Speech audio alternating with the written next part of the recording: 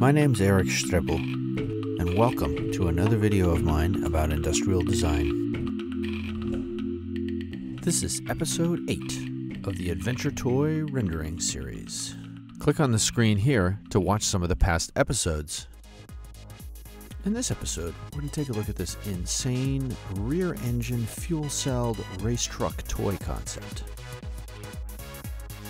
I start this sketch out just like I start out most of the other ones, with some sort of a good, solid underlay so that my perspective is correct. I do this by taking a photograph of some of the toy parts that I snap together and use that to create a good composition and a nice view. I've already done the wheels and the ground shadow on this uh, race truck right here. I've even gone in and I've outlined the outside of the vehicle and many of the PowerClix uh, toy blocks with pen because I purposely want the ink from the Prismacolor markers to smear and start to fade the ink that's already on the page. And I do this because I want a little bit of a weathered kind of look. I don't want a super crisp detail. It's a race truck and I want it to look like it's already been on the track, kind of racing a little bit. And so it's for a very good reason I do this. Next, I put in the values of the front windscreen. And value change equals form change. And it's very evident here as the windscreen wraps around and away from us, it gets darker as that's the darkest side of the vehicle. The vehicle sources, uh, the light source is coming from the right hand side. Next, I'm going in and I'm filling in the details. And this sketch, the details are super important.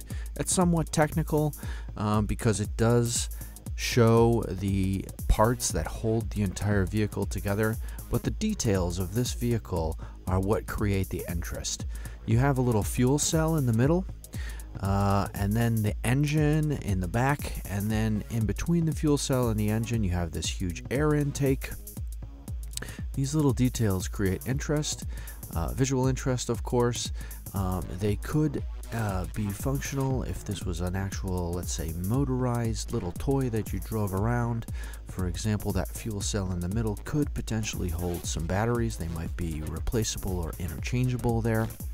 Uh, so the details of this are super important, and I spend a fair amount of time on the details to really show uh, how this vehicle would be held together, how it would work.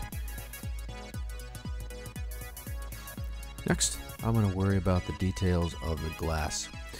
The surfaces of the glass that are closest to the light, I add a little bit of white and I actually do a little fade.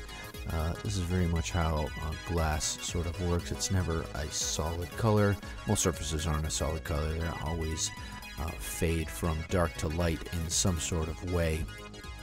I come back in and I add in more details with my Papermate pen here uh, to increase the contrast between the parts. In this case here, I'm working on the wheels. Uh, you'll notice even the wheels have a fair amount of detail in the tread.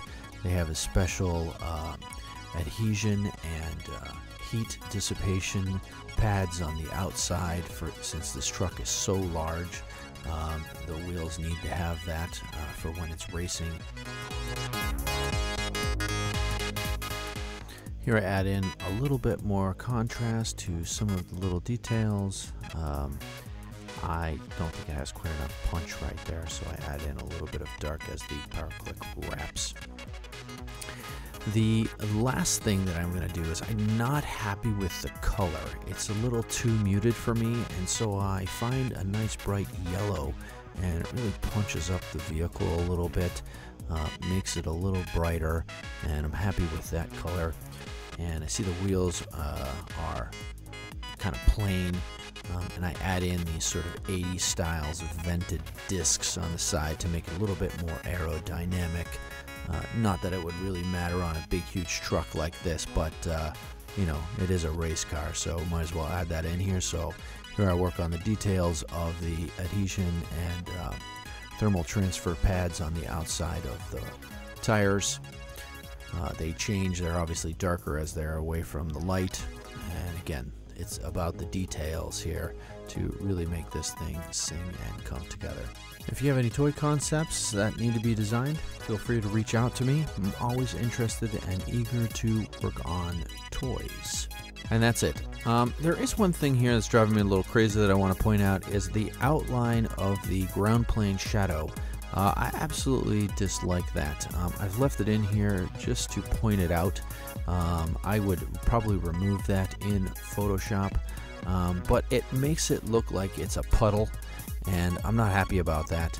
Uh, but I'm leaving it in here just to show you. Uh, now that I pointed it out, it's probably pretty obvious, but normally I would take that out as shadows don't really have that. Come back next week and we're going to take a look at this uh, military vehicle and I'll show you how I do the color rendering of that.